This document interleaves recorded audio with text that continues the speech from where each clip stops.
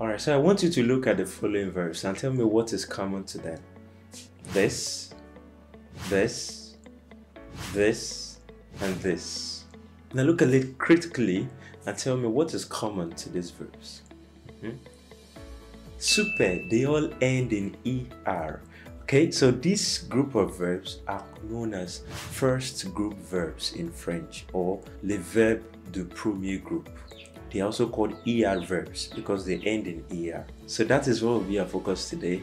Regular ER verbs and how to conjugate them in French. Stick around. Then you should know that most verbs in French actually end in ER. So it's important for you to learn this once and for all. I'm going to be super easy, super direct, and super fast with you. Examples of some ER verbs are jouer. Jouer means to play. Chanter. Chanter means to sing. Parler. Parler means to talk or to speak. Alright, I should mention that only one verb actually ends in ER but isn't considered as an ER verb, and the verb is the verb aller. Okay, aller, which means to go. Okay, so now how do you conjugate regular ER verbs in French? Just follow these easy steps. So the first thing you need to do is to write out your personal pronouns, and they are je, tu, il ou elle ou on, nous, vous, il, elle. Write them out. The second thing you need to do is to remove the ER at the end of the verb. So just remove this ER at the end of the verb and write out the remaining. So you write out the remaining, call the roots. Okay, just add it to the verb. Right, have you done that? First thing, don't forget, you write out the personal pronoun. The second thing, you remove the ER at the end of the verb and write out the remaining. Okay, bravo. All right, the next thing to do is to add their respective endings. Okay, so this you just need to learn by heart. Okay, you need to memorize these endings. All right, for je, you add i. For tu, you add es. For il ou elle ou on, the third person singular, you add E. For nous, you add ons. For vous, you add ez. For il ou elle, you add ent. It's as simple as that. And now you can make correct sentences in French. So look at this example for instance. Je parle. Je parle means I speak. So if I wanted to say I speak English, je parle anglais. Okay. Tu parles. Tu parles français. Do you speak French? Tu parles. Can you repeat that? Tu parles. Super. Il parle, meaning he speaks or is speaking. Elle parle, she speaks or she's speaking. Nous parlons, nous parlons, we speak. Ici, nous parlons français. Here, we speak French. Okay? Vous parlez, you speak. Vous parlez, il parle, elle parle. C'est compris? Do you understand that? Alright, if you did, let's conjugate this verb in present tense together. Chanter. Chanter means to sing. Okay, so what is the first thing you need to do? Super. Write out your personal pronouns. Okay, je, tu, and the rest. The second thing you need to do is to do what? You have to remove the ER in the infinitive form of the verb. Okay, the ER in the infinitive form of the verb and write the root to the personal pronouns. Super. And what's the final step? Add their respective endings. Okay. So for the first person singular je, you add E. For tu, you add es. For il, elle ou on, you add E. For nous, you add ons. For vous, you simply add ez. And for they, il ou elle, you simply add ent. I say all you need to do is to memorize e this the respective endings. Okay. Now we have je chante, which means I sing or I'm singing. Je chante à la maison. I sing at home. Je chante toujours à l'église. I always sing in church. Je chante avec mes amis. I sing with my friends. Okay? Tu chantes, you sing. Il ou elle chante, he or she sings. Nous chantons, we sing. Vous chantez, you sing. Il chante. Okay, so this chant has the same pronunciation as the first person singular. Okay, chante. You don't say chanton, no. Say chante, il chante, elle chante. C'est compris? Now let's look at some special conjugation of certain ER verbs. Yes, ER verbs have the same formats of conjugation. However, there are some special changes you need to make in some ER verbs. Alright, so the first group of special ER verbs that you need to pay attention to are verbs that start with a vowel or a mute H. Okay? Alright, like for example, habiter, arriver, adorer. Alright, so for this group of verbs, look at what you need to do. Alright, so the only change you need to make, just like I said, first step, write out your personal pronouns.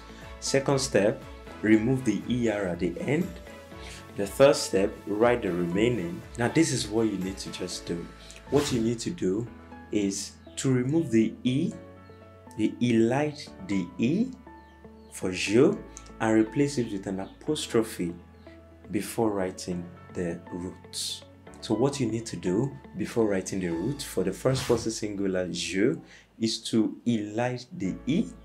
Elide means to cancel or to remove and replace it with an apostrophe before writing this. Why is this? Alright, so this takes place because in French, when two vowels from two different words meet, the first vowel will be elided, meaning the first vowel will be replaced with an apostrophe. That is it. Alright, so the second group of verbs that needs a slight change are verbs that end in GER. Par exemple, manger, changer, manger means to eat, changer means to change. All you need to do is to follow the same pattern, okay? Write out your personal pronouns, remove the ER, add the roots. Now, just add your endings, respective endings for je, you have E, for tu, you have ES.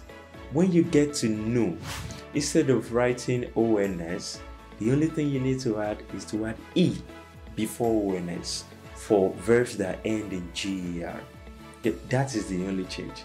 And why is this? Is to have a smooth pronunciation. That's why I would say nous mangeons, nous mangeons du riz, nous mangeons. That means we eat, okay? Or nous changeons, we're changing. Alright, so for verbs that end in GER, that is the only thing you need to pay attention to. Just add E in the nous form before adding ONS. And for verbs that end in CER, par exemple, avancer, to advance or to progress, or commencer, to begin, to commence or to start, you follow the same pattern. However, when you get to the nous form, you only add the cedilla this accent mark is called cedilla. You add the cedilla to the C. Alright, this is just to have a smooth pronunciation, and that's why we're saying no common nous commençons, commençons. So the cedilla softens the k sound. Nous commençons, nous avançons, we're progressing. Okay, and for verbs that end in YER, for example, payer, what you just need to do is to change the Y to I in all the forms except for nous and vous. So let's look at this example. Payer. Okay? After following the rules, personal pronouns remove ER. Now what you just need to do, so instead of writing P-A-Y, just change the Y to I. So we have pay, pay. and when you get to nous and vous form, the Y is retained. Then you can add your respective endings. Did you see that? Alright, so these are just things you just need to know. They are not complex, but they are just special cases that you should know about. So the next group are verbs that have A in the infinitive form. Okay, the E with the acute accent, E avec l'accent aigu. So what you just need to do, the E with the acute accent changes to the E with a grave accent. Okay, in all cases except for nous and vous. Okay, so um, this is the acute accent called accent aigu, and this is l'accent grave. Okay, so when you see this accent, accent aigu on E, it gives E the A sound. Par exemple, compléter, to complete, protéger, to protect, célébrer, to celebrate or to party. So what you just need to do, like I said, is to change the acute accent to the grave accent. All right, so let's look at this example. Compléter. First thing you do, like I said, personal pronouns. Next thing, remove the ER. And the next thing, write your roots. Okay, while writing your roots, don't forget you need to change the acute accent to the grave accent, except for nous and vous. Okay, so we have je complète, to complete. You see the change in pronunciation. The infinitive form of the verb is compléter. Compléter, the A sound. While when conjugating, we change the accent to the grave accent, giving the E the E sound. That's why we say je complète, tu complete, il ou elle complète, nous complétons. So it retains its form in the nous and vous form. Nous complétons, vous complétez, il complète, elle complète. C'est compris? Bravo. And there are some verbs with E in the infinitive where all you just need to do is to double the last consonant. Okay, there's some verbs like jeter, jeter means to throw, or appeler. So all you need to do is after remove the ER, you just double the last consonant for all forms except nous and vous. And there are some verbs which contain E in the next to the last syllable of the infinitive. All you need to do is to change the E to this. That's all you need to do, except for the nous and vous form. You only change this to this. So all you just need to put is the grave accent on E. Okay, examples of these verbs are lever, mener, emmener, promener, élever, poser, and so on and so forth. Et voila, I believe now you can conjugate ER verbs. It takes a lot of practice. So let's practice these verbs together. Can you try and conjugate these verbs? This, this, this, and this. And drop in the comment section. I'll be waiting to hear from you. Merci beaucoup d'avoir suivi et à très bientôt.